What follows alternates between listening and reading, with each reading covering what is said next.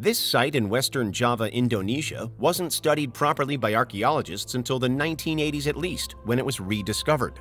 It's called Gunung Padang and is believed by some to be an enormous step pyramid, potentially the oldest and largest pyramid ever built by humans.